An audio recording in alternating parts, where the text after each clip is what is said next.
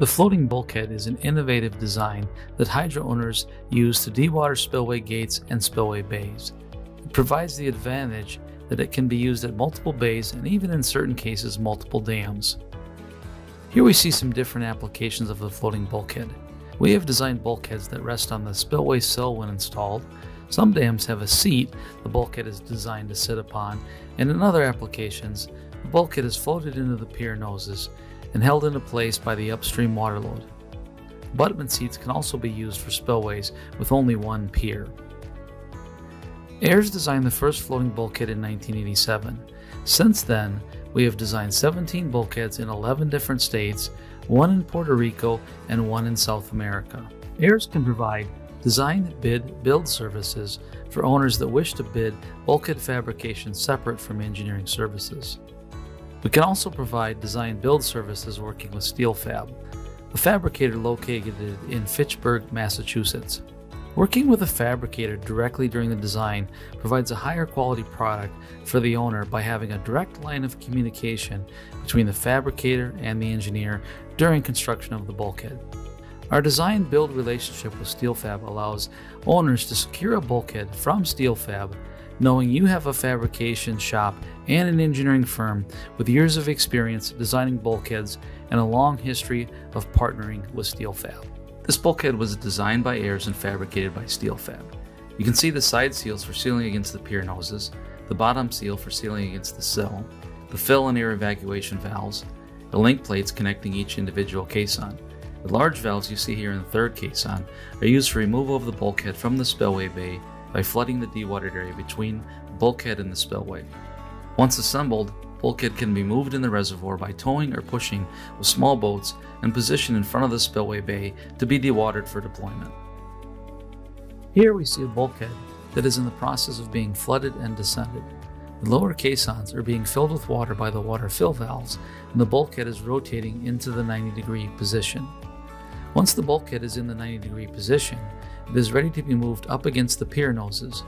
Once against the pier noses, the downstream gate is opened slowly to drain the water from the backside of the bulkhead, and the upstream water load on the bulkhead pushes and seals the bulkhead to the pier noses and spillway sill. Now the spillway can be dewatered and the gate repairs or a full gate open test can be conducted. Here we see another bulkhead being flooded and descended into the vertical position. This bulkhead was designed for a dam in South America where if one of the spillway gates was fully opened, the downstream city would experience flooding.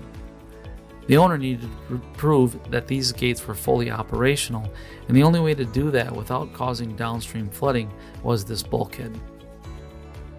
We partnered with SteelFab on this project. SteelFab did the fabrication and Ayres did the design.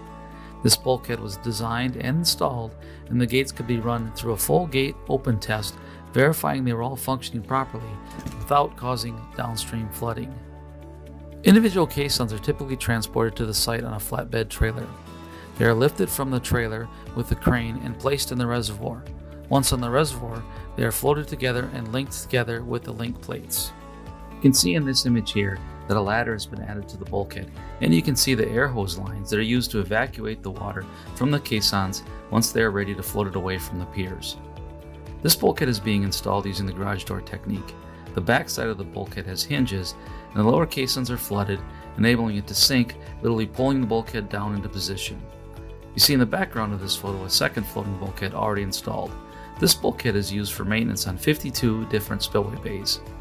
In this particular application, we also use come-alongs to tie the bulkhead into position just to help secure it into place. Here is a bulkhead that is in the process of being descended as a fixed piece unit so it is not hinged. You see in the left side of the photo an abutment seat that this bulkhead is going to float up against. In this photo you can see the position bulkhead against the abutment seats. This is obviously used in spillway bays where we have an abutment on one side and a pier nose on the other. These bulkhead seats are installed before placement of the bulkhead and typically require installation by a diver. In some applications, the abutment seats can be left in place, and in other applications they are removed for spillway capacity. Here we have a bulkhead that we designed with standoffs to allow the bulkhead to be about 2 feet from the pier noses. In this project, we were replacing the trash racks, and the trash racks slope at the bottom, and without the standoffs, the workers would not have room to work on the trash rack. You can see the bulkhead in position here. This is a bulkhead in the process of removal. Air is being pumped into the caisson, evacuating the water. Again, this bulkhead was installed with the garage door technique, and the bulkhead is rotated into the horizontal position just like a normal garage door. Note that the area between the gate and the bulkhead is flooded. That's what the bypass valve is for, to flood the space between the bulkhead and the gate to take the upstream water load off the gate.